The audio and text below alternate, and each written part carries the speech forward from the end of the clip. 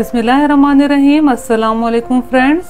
Friends, पिछले दिनों चार किलो दूध गर्म करते हुए फट गया था तो मैंने सोचा क्यों ना आपसे फटे दूध की बनी रेसिपीज़ शेयर की जाएँ।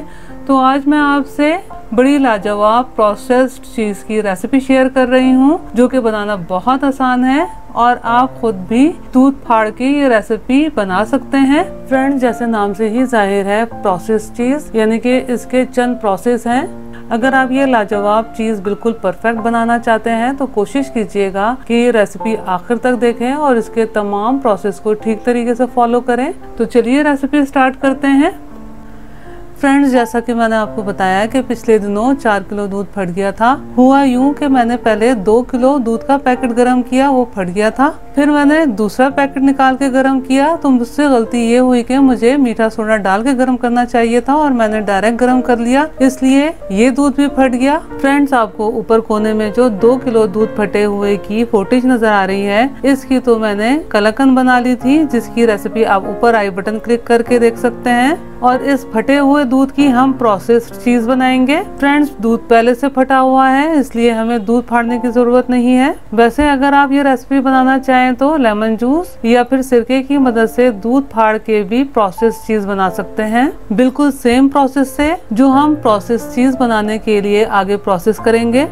अब इस फटे हुए दूध में से स्ट्रेनर की मदद से पानी यानी वे और पनीर यानी चीज़ को अलहदा कर लेंगे और पनीर में से पहले इस तरह स्पैचुला की मदद से पानी को अच्छी तरह निचोड़ लेंगे। और फिर इस तरह दोनों हाथों की मदद से निचोड़ेंगे ताकि इसमें से बहुत अच्छे से पानी सेपरेट हो जाए। फ्रेंड्स जब भी हम खुला दूध गर्म करते हैं तो सामने खड़े रहते हैं और दूध में उबाल आने का इंतज़ार करते हैं। और जो दूध खराब होता है, उसमें उबाल आने से पहले ही दूध फट जाता है। तो खराब दूध जैसे ही फट जाए, आपने वैसे ही चूल्हा बंद कर देना है। उसे पूरी तरह नहीं उबालना और फिर कवर करके रख देना है। इस तरह से जो चीज़ बनकर तैयार होती है, वो बहुत सॉफ्ट बनकर तैयार होती है। और जब सॉफ्ट चीज़ यानी पनीर से कोई भी चीज़ बनाई जाए, चाहे वो मिठाई बनाई जाए या कॉटेज चीज़ बनाई जाए या फिर इस तरह प्रोसेस चीज़ बनाई जाए, बहुत अच्छी बनकर तैयार होती हैं।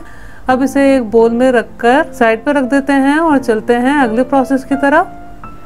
फ्रेंड्स अब प्रोसेस चीज़ बनाने के लिए एक सोल्यूशन तैयार करना है, जो कि प्रोसेस चीज़ की बेस है। एक टेबल स्पून बोल में पानी शामिल किया है। एक टीस्पून सिट्रिक एसिड यानी कि टाटरी शामिल करेंगे। अब टाटरी को बहुत अच्छे तरीके से पानी में मिक्स कर लेना है कि ये बिल्कुल पानी में डिजोल्व होकर गायब हो जाए। फ्रेंड्स पनीर में से जो पानी सेपरेट हुआ है, उसे ज़ाया मत कीजिएगा। उसे आप आटा गूंदने में या फिर कड़ी बनाने में इस्तेमाल कर सकते हैं। फ्रेंड्स मैंने भी पनीर में से सेपरेट हुए पानी को छोटे छोटे एयर टाइट बॉक्सेस में डालकर फ्रीज कर लिया है, जो मैं हसबे ज़रूरत इस्तेमाल करूँगी। फ्रेंड्स सिट्रिक एसिड पानी में बहुत अच्छे तरीके से हल हो गया है। अब इसमें ये वन टीस्पून बेकिंग सोडा यानी कि मीठा सोडा शामिल करेंगे। ख्याल रहे कि बेकिंग पाउडर शामिल नहीं करना, बेकिंग सोडा शामिल करना है। अब इसे भी बहुत अच्छे तरीके से हल कर लेना है। आप देख सकते हैं, तमाम अज्जा आपस में बहुत अच्छे तरीके से मिक्स होकर एक क्लियर सोल्यूशन सा हमें मिल गया है। मैं आपको चेक भी करवा देती हूँ कि कितना क्लियर बनकर तैयार हुआ है। आप देख सकते हैं कि इसमें कितनी ट्रांसपेरेंसी है। बस हमें इसी तरह का प्रोसेस सोल्यूशन दरकार है। अब इसे साइड पर रख देते हैं।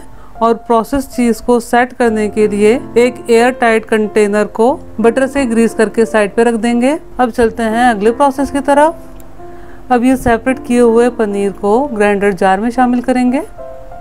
ये जो हमने ट्रांसपेरेंट सोल्यूशन बनाया है, ये भी शामिल कर देंगे। वन फोर्थ कप यानी कि 50 ग्राम सॉल्टेड बटर शामिल करेंगे।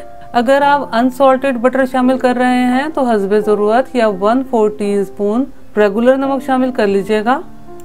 80 एम यानी कि वन थर्ड कप मिल्क शामिल करेंगे। अब इन तमाम अज़ा को ब्लेंडर में इतना ब्लेंड करना है कि इसका टेक्सचर बिल्कुल क्रीमी सा हो जाए। फ्रेंड्स ये मिक्सचर ब्लेंड होते हुए काफ़ी गाढ़ा हो जाएगा तो वन गो में इसे ब्लेंड करने की कोशिश मत कीजिएगा। मशीन को ऑन ऑफ़ करके इसे ब्लेंड कीजिएगा। और बीच बीच में इस तरह चमचे या स्पैचुला की मदद से बैटर को ऊपर नीचे कर लीजिएगा ताकि बहुत अच्छे तरीके से ब्लेंड हो जाए। चीज़ का मिक्सचर ब्लेंड होकर तैयार है। चीज़ का मिक्सचर ब्लेंड होने के बाद इसी तरह से क्रीमी होना चाहिए। ये मिक्सचर ब्लेंड करने में आपको चार से पाँच मिनट भी लग सकते हैं। अब इस मिक्सचर को थोड़े बड़े साइज़ के बोल में ट्रांसफ़र कर लेते हैं।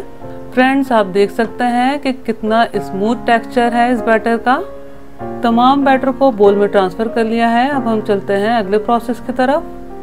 मैंने हसबे ज़रूरत पानी बॉयल होने के लिए पैन में रख दिया था। पानी हमने पैन में इतना रखना है कि बोल की बेस पानी में डिप हो जाए। जब पानी में उबाल आना शुरू हो जाए तो मिक्सचर का बोल पैन में रख देंगे। अब मुस्तकिल चमचा चलाते हुए इस मिक्सचर को इतना पकाना है कि ये मिक्सचर बिल्कुल मेल्ट हो जाए और ये मिक्सचर मेल्ट होने में तकरीबन 12 से 15 मिनट लग सकते हैं। तो परेशान मत होइएगा कि इतनी देर लग रही है। मैं ये मिक्सचर मेल्ट करने के लिए शीशे का बोल इस्तेमाल कर रही हूँ तो ज़रूरी नहीं है कि आप शीशे का बोल इस्तेमाल करें, आप स्टील का बोल भी इस्तेमाल कर सकते हैं।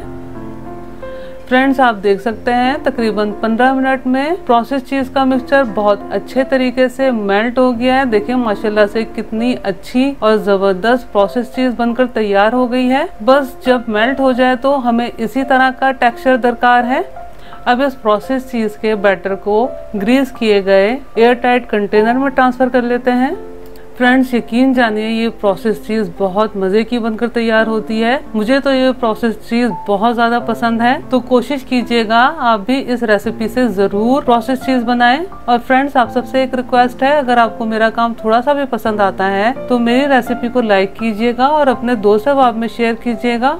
और मेरे चैनल को सब्सक्राइब करना और बेल बटन को क्लिक करना बिल्कुल भी मत भूलिएगा।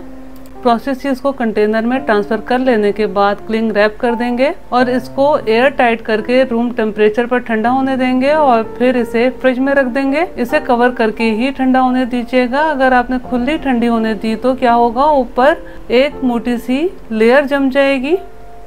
रूम टेम्परेचर पर ठंडा हो जाने के बाद अब इसे फ्रिज में तकरीबन तीन चार घंटे के लिए रखेंगे ताकि बहुत अच्छे तरीके से सेट हो जाए। प्रोसेस चीज़ फ्रिज में तीन चार घंटे रखकर बहुत अच्छे से सेट हो गई है। अब इसे एक प्लेट में निकाल लेते हैं। मैं आपको प्रोसेस चीज़ स्लाइसेस में काट के ब्रेड पर अरेंज करके आपको सैंडविच बनाकर भी दिखा देती हूँ कि कितनी ज़बरदस्त ये चीज़ बनकर तैयार हुई है। फ्रेंड्स यूज़ करने के बाद आपने ये चीज़ फ्रिज में ही रखनी है। सैंडविच को बटर लगाकर दोनों तरफ़ से अच्छा सा गोल्डन कलर आने तक सेक लेंगे। सैंडविच बहुत अच्छे से सीख गया है। अब इसे निकाल लेते हैं और मैं इसे काट के भी दिखा देती हूँ। फ्रेंड्स, आप देख सकते हैं कि प्रोसेस चीज़ कितनी क्रीमी और कितनी ज़बरदस्त बनकर तैयार हुई है। आप इस प्रोसेस चीज़ को आराम से दो तीन हफ़्ते के लिए फ्रिज में रखकर इस्तेमाल कर सकते हैं, क्योंकि इसमें जो हमने टाटरी का इस्तेमाल किया है, वो इसमें प्रिजर्वेटिव का भी काम करता है। मैं आपको प्रोसेस चीज़ ब्लॉक्स में भी काट के दिखा देती हूँ, ताकि आपको ठीक तरीके से प्रोसेस चीज़ का टेक्सचर नज़र आ सके। फ्रेंड्स अगर आपको मेरी रेसिपी पसंद आई हो तो लाइक कीजिए, अपने दोस्त अहबाब में शेयर कीजिए, और मेरे चैनल को सब्सक्राइब करना और बेल बटन को क्लिक करना बिल्कुल भी मत भूलिएगा। अगली रेसिपी की वीडियो तक के लिए अल्लाह हाफिज।